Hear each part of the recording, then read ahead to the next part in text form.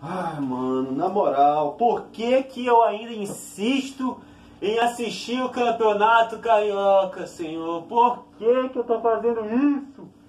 É patético. É patético. Vou armar aqui.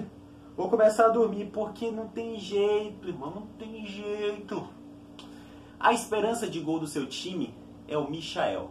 Logo ele, o peladeiro, tava na casa dele. Convenhamos que aquele gramado lá de Bacaxá é o mesmo gramado que a gente joga aqui na pelada tudo mais. Acho que daqui, inclusive, pode ser até melhor. Tava em casa. Ah, mas ele deu assistência. Caguei e andei. Foi cagada aquela assistência que ele deu. O tanto de oportunidades que esse cara teve para fazer uma jogada decente. E olha, se você acha que eu vou passar paninho pra Gabigol, você, meu amigo, está enganado. Gol do Boa Vista pode colocar 90 90% na conta daquele cara, na conta do Gabigol. Você viu a invertida de bola patética que ele deu no pé do cara? Ah, mano, já são já são mais 11 horas da noite, cara. Aí a gente, pô, assistindo Boa Vista e Flamengo, empate ridículo, sabe? Os jogadores do Boa Vista lá segurando o jogo, o Flamengo com vontade nenhuma, nenhuma de fazer o gol da vitória. E a gente tá aqui de besta. Eu tava com sono, falei, não, vou assistir o jogo, porque eu acho que pelo menos vai me despertar, vai, enfim, vai, vai, vou fazer meu trabalho aqui de boa. Mas não! Ah, cara, vamos lá, vamos comentar essa partida e vamos também dar as notas para esses jogadores no final do vídeo. Mas antes, se você é novo aqui do nosso canal, cara, olha a minha situação. Cara, por favor, cara.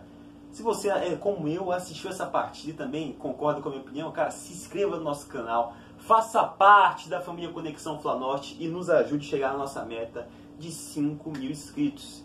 Vai ter react dessa partida, hein, pessoal? Eu já fiz o, a reação e, meu amigo, foi duro. Foi duro demais, duro demais. Eu esperava uma vitória do Flamengo, como eu disse no pré-jogo. Não aconteceu. Mas, enfim, o primeiro tempo, o Flamengo dominou todas as ações do jogo, teve as melhores oportunidades. O Boa Vista pouco atacou, tentava ali chegar nos contra-ataques, mas nem isso eles conseguiam. O Flamengo teve uma ação muito dominante no meio de campo e isso foi determinante no segundo tempo, porque no segundo tempo nós não conseguimos fazer essa mesma dominância no meio de campo e acabou com o nosso tipo de jogo. No primeiro tempo, cara, a gente estava melhor na partida, com o nosso melhor momento, o Michel errando jogada pra cacete, René mal pra caramba, Gabigol, a bola nem chegava no cara. O Gabigol pouco era acionado, na minha opinião, ele foi o pior do Flamengo no primeiro tempo, até porque mal chegou. E quando chegava, a gente visivelmente via que ele não está em boa forma ainda. Vai ter que treinar bastante, hein, seu Gabigol, pro próximo jogo, quando essas cobras criadas aí que vão voltar, porque próximo jogo, os jogadores que nós estamos acostumados a ver vão voltar a jogar. Então, vamos ver se a forma física desses camaradas aí, mano, vão estar tá boa. Porque meu amigo Gabigol hoje você é louco, mano. Você é louco. Se tivesse uma forma pelo menos razoável, dava para fazer um gol ali. E aí, quando, no melhor momento do Flamengo, nós tomamos um gol. Que foi, cara, cagada do Gabigol. Ele não estava conseguindo receber a bola na frente. O que, que ele foi fazer? Ah, vou um pouco mais para trás para pegar essa bola e partir para ataque. Porque eu não tô nem participando do jogo. Tô aqui sendo um jogador, inclusive, fazendo nada, só olhando aqui, espectador, porque estava muito bem marcado, por sinal também. E aí ele foi buscar a bola no meio do campo foi tentar tocar para defesa e fez uma grande merda. Tocou no pé do cara e aí armou o contra-ataque Boa Vista, pegou a defesa do Flamengo toda desprevenida. Bruno Viana e Léo Pereira acabaram ali é, cambaleando nessa, nessa jogada aí, apesar de eu achar que eles fizeram uma excelente partida. E aí, o jogador do Boa Vista, que eu esqueci o nome agora, foi lá e acertou um chute impressionante, né, cara? Contra o Flamengo, esses caras conseguem fazer esses gols aleatórios aí. O cara pegou bonito na bola, foi na gaveta, um golaço, sem chance pro Hugo. E aí, 1 a 0 Só que aí o que a gente tem que aplaudir é que mal o time do Boa Vista fez o gol e o Flamengo foi lá e empatou a partida com o gol dele, o nosso ambidestro. Galera, eu ia zoar pra caramba, eu ia fazer umas paradas com esse negócio, esse cartaz aqui, cara, mas empate, sabe? Eu não tô com vontade, mas gol do Ambidestro, gol do Vitinho, numa jogada lá que foi do Léo Pereira, do René, e aí chegou no nosso mito Michael, que fez a única jogada depois de tipo 40 tentativas de fazer uma jogada que preste, uma jogada de um jogador de futebol de verdade. Uma ele conseguiu acertar que foi o gol. Aí ele foi lá, cruzou e o nosso Vitor Vinícius aqui, o ambidestro, foi lá e marcou o gol do Flamengo de empate. Aí eu falei, beleza, mano. O Flamengo não mudou a postura em nada. Agora, mano, segundo tempo, vamos meter gol, vamos meter gol. O que que eu tava pensando? O que que eu estava pensando? Segundo tempo, Boa Vista veio um pouco mais para ataque. Só que, como eu falei para vocês anteriormente, o meio de campo se perdeu na partida no segundo tempo. Hugo Moura já não estava jogando tão bem. O João Gomes era o que estava melhor ali. PP apagadíssimo. O Flamengo jogava muito explorando as pontas. O Vitinho e o Michael. E obviamente fazendo merda, né? Mais o Michael do que o Vitinho. O Vitinho fez uma partida boa, cara. Eu achei. É, as jogadas que ele criou foram de mais perigo. Só acho que ele está um pouquinho morto dentro de campo. Tem que correr mais, Vitinho. Pelo amor de Deus. Por favor, meu filho. O Gabigol passou a ser um pouco mais racionado, né? com a entrada do Rodrigo Muniz no, no, na metade do segundo tempo, melhorou a partida do Gabigol, porque ele passou a vir um pouco mais para trás, jogar de segundo atacante. E aí ele começou a ter oportunidades, teve aquele chute que, nossa, raspou na gaveta. E teve aquele lance do Rodrigo Muniz, mano, que pelo amor de Deus, passou isso aqui do gol, cara. Mano, pô, passou na trave. E eu fiquei desesperado, eu falei, não acredito, era agora. E aí depois daquela bola lá, quando pô, o Rodrigo Muniz chutou pra fora, aí eu falei, já era, irmão, já era.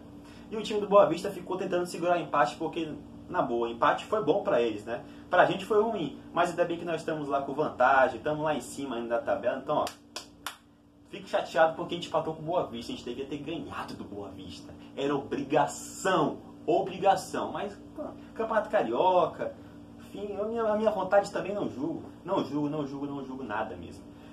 Queria destacar também, antes aí da gente ir para os nossos jogadores, aquele lance do Bruno Viana. Ridículo, Bruno Viana. Você fez uma partida muito boa, mas, pô, cara, precisa disso. O cara deu um bicão lá no banco do time do Boa Vista, pegou no cara lá, velho. Tá de sacanagem, Bruno Viana. É, galera, vamos lá, vamos lá. Vamos dizer aí as notas dos jogadores. Hugo Souza. Nota 7, vai, Hugo Souza, nota 7. Lateral direita, Mateuzinho, infelizmente saiu com andor na posterior e na coxa, espero que não seja nada demais. Achei que ele jogou bem, vou dar nota 7 também, tá? Bruno Viana e Léo Pereira. Gostei da partida do Léo Pereira, foi seguro. Olha, o Léo Pereira tá jogando bem, cara. Hoje vou dar 7,5 pro Léo Pereira e vou dar 7 pro Bruno Viana só pelo esse bicão que ele deu lá no banco do Boa Vista, que eu achei uma atitude patética. Na lateral esquerda, René, não gostei da partida do René, vou dar nota 5 para ele. Meio de campo, Hugo Moura, primeiro tempo foi bom, segundo tempo muito abaixo. Então Hugo Moura hoje vai ganhar nota 7 aí, tá?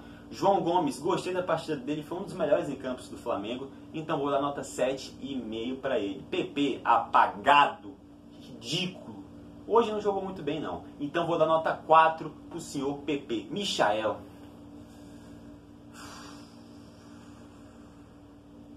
Não vou dar zero pra esse cara não. Só pela assistência, Michael, só pela assistência, nota 6 para você, só pela assistência. Se não fosse isso, era 0, 0, 0, 0.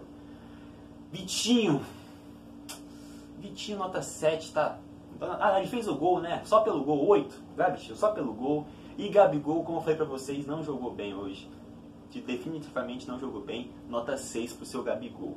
E o Maurício Souza, nem vou dar nota, é um marionete dentro de campo, né? Porque o Rogério Senna manda, ele faz. Não sei porque o Rogério Senna na beira do campo hoje. Então, pessoal, é isso. Eu vou voltar a dormir aqui, porque, pelo amor de Deus, tá de sacanagem. Muito obrigado você que ficou comigo aqui até o final do vídeo. Um forte abraço a todos. Valeu, rapaziada. Saudações rubro-negras. É nóis. Se inscreve no canal, parceiro. Tamo junto.